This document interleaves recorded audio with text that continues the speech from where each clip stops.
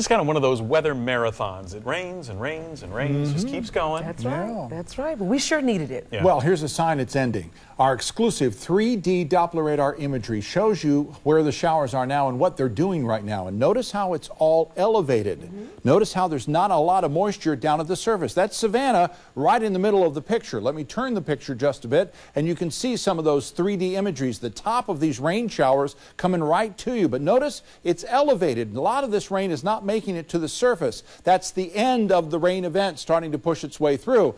Though there's still a lot of rain falling. My goodness, we just had a real shower come through here. Over 1.56 inches officially at the airport, almost 2 inches here at WTOC. Reidsville's got some showers just to the southeast. Glennville had a shower earlier. This one little cluster is working its way toward Effingham County, western Chatham County, portions of Jasper and Beaufort County. I think it's going to hold together. Look at approaching uh, Montgomery on the south side and Coffee Bluff. That'll be a pretty heavy shower. And all of these showers are starting to lose their intensity. That's the 3D picture I showed you. But they're also continuing to work their way through. So as they collapse, as they rain themselves out, we get some pretty significant rains. The darker greens up to close to two inches. And many areas, especially some of our western counties, did see in excess of that.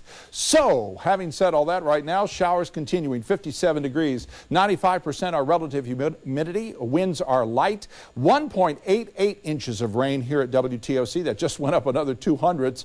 Uh, 57 degrees with today's high at 60 thanks to the cloud cover. The other part of that is with the rain falling, that puts a lot of moisture in the air. There's not a lot of wind to remove that moisture, so we're getting decreased visibilities. We saw that in our shot from downtown Savannah with a five mile visibility. Hilton Head at three. Expect some patchy fog to form before the wind really got, gets a chance to get started. And then here's your planner for first thing in the morning. Thunderstorms till about 9 or 10 o'clock, then it should be just showers after that, and temperatures trying to warm up to the mid 60s. Temperatures will cool after that as we go later in the forecast. There's our area of low pressure. It's tracking across South Carolina. By 4 o'clock tomorrow afternoon, showers are now ending right in coastal areas, and even skies start to clear uh, by 11 o'clock Thursday night.